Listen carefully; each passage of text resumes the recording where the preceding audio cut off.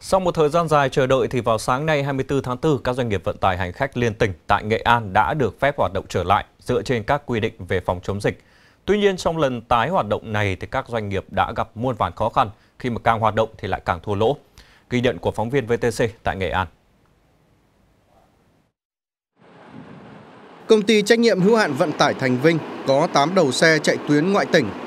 Theo quy định, thời gian này chỉ có 50% số chuyến được chạy với số lượng tối đa mỗi chuyến không quá 50% thiết kế. Theo tính toán sơ bộ, nếu có đủ 50% khách thì mỗi chuyến doanh nghiệp này vẫn chịu lỗ hơn 2 triệu đồng. Chưa nói đến việc chuyến xe sáng nay chỉ có một hành khách duy nhất.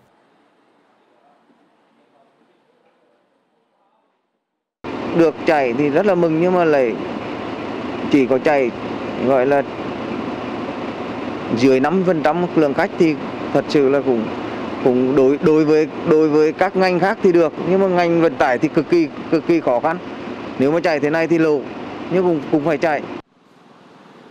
Tại bến xe Bắc Vinh, dù tuyến xe liên tỉnh đã hoạt động trở lại, nhưng rất điều hưu.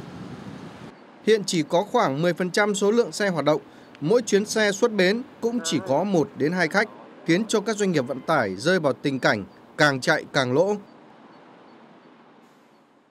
Ờ, dầu thì nói chung nó giảm đến mức thấp rồi nhưng mà có cái là cái tất cả những cái dịch vụ tất cả thứ ở lệ phí ở hai đầu bến thì bọn tôi cũng mong muốn tức là đấy thì uh, tạo điều kiện cho bọn tôi để trong những lúc khó khăn hay để, để hoàn thành nhiệm vụ. Đối với các cái doanh nghiệp mà hoạt động mà trong cái giai đoạn này ấy, mà đang còn bị thua lỗ kéo dài hoặc là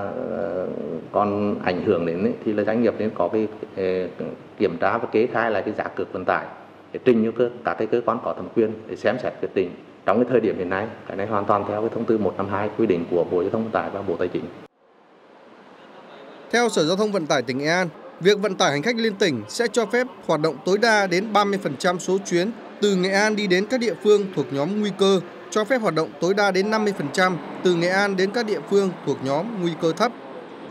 Việc cho phép hoạt động vận tải hành khách liên tỉnh hoạt động sẽ đảm bảo giao thương, góp phần khôi phục sản xuất, phát triển kinh tế sau thời gian cách ly xã hội.